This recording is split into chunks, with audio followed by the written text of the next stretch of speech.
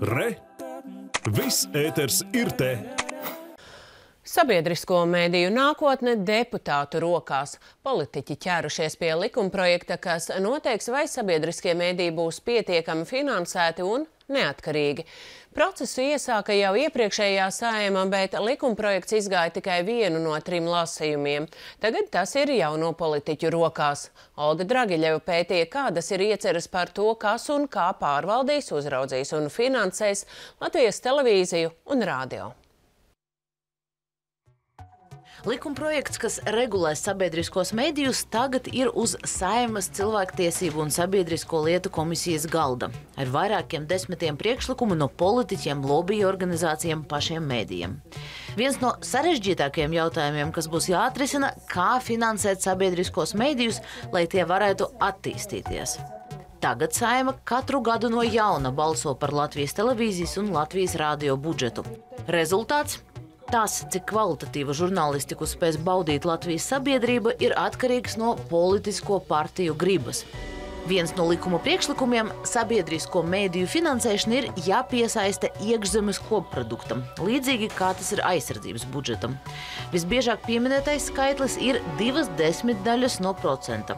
Tas ir mazliet vairāk nekā vidējais radītais Eiropas Savienībā prakse budžetā vai likumdošanā piesaistīt pie procentus pie IKP atsevišķām nozarēm, institūcijām tā tālāk. Patiesībā nav laba prakse, un viņa arī īsti nav pasargājusi, piemēram, zinātnes finansējumu Latvijā. Jā, faktiski vienīgais, un pat NATO finansējuma ar šī procenta nepildīšanu diezgan ilgā laikā. Vai jums ir bijušas sarunas ar, ar, nezinu, ar finanšu ministriju, vēl, vēl kaut kādām citām iestādēm? Nu, vai kāds ir gatavs šo, šo, šos līdzekļus piešķirt? Nē, mums nav bijušas kuluāra sarunas vai, vai, vai tādas neformālas sarunas. Es pieļauju, ka Vai kāds ir gatavs piešķirt? Nu, skaidrs, ka cik ministriju, tik vajadzību, un katra ministrija aizstāvēs savas vajadzības. Uh, taču, manuprāt, uh, ir jāpienāk tam brīdim, kad notiek arī politiska izšķiršanās par to, kas tad ir sabiedriskais mēdījis Latvijā. Uh, kā mēs redzam, nu, diemžēl mēs atpaliekam gan no Lietuvas, gan no Igaunijas. Par to, vai un kā no politiskās ietekmēšanas riska atbrīvos arī Latvijas rādio un Latvijas televīzijas vadību, vēl spriedīs. Plānos mainīt gan to, kas vadīs mēdījus, gan to, kas tos uzraudzīs. Tagad sabiedriskos mēdījus uzrauga Nacionālā elektronisko plašsaziņas līdzekļu padome, taču tās locekļi visu laiku atrodas interešu konfliktā. Padomēji vienlaikus gan jāaizstāv sabiedriskos mēdījus, gan jāuzrauga viss radio un televīzijas tirgus. Likums piedāvā izveidot vēl otru padomi tieši sabiedrisko mēdīju pāraudzībai.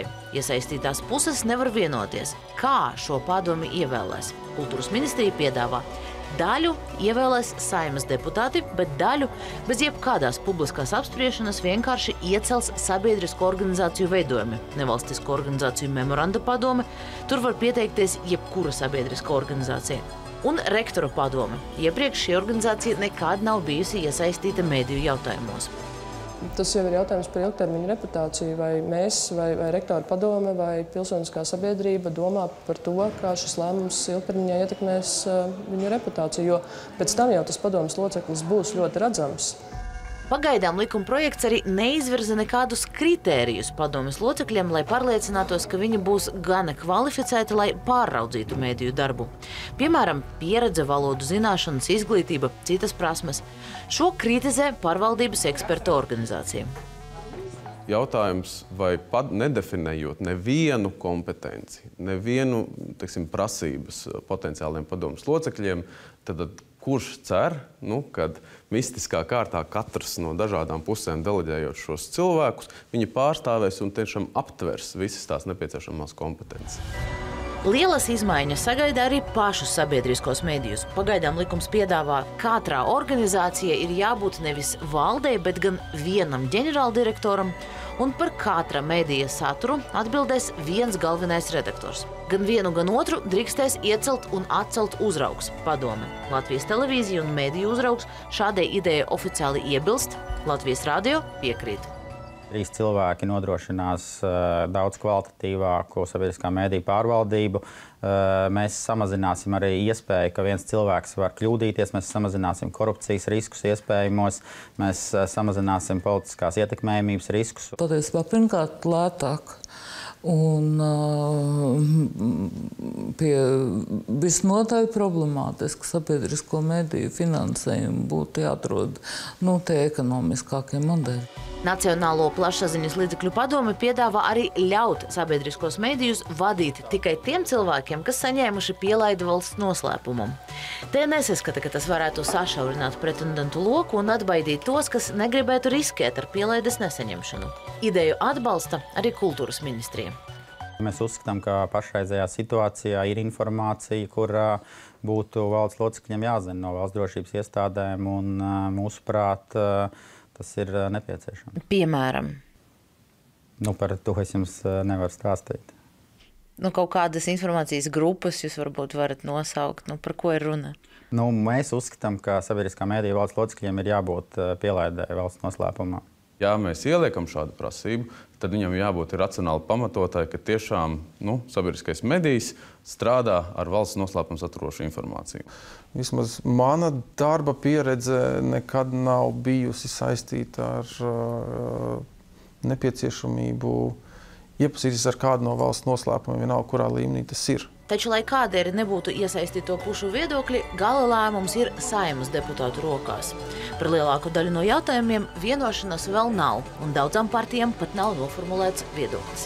Kad par visiem šiem jautājumiem tiks pieņemts lēmums te? Saima politiskais lēmums nav skaidrs, jo Likuma projekta ir vairāk nekā 150 priekšlikumi, un neskatoties uz to, ka kopš saimnes vēlēšanām pagājuši četri mēneši, tikai aptuveni seši priekšlikumi ir apskatīti, un politiskais lēmums arī tajos nav pieņemts. Visticamāk, būs jāatgriežas arī pie idejas par Latvijas radio un Latvijas televīzijas apvienošanu. Arī šādu priekšlikumu ir iesniedzis mēdīju uzraugs, taču pagaidām padomē nav jaunu aprēķinu vai konkrēta plāna.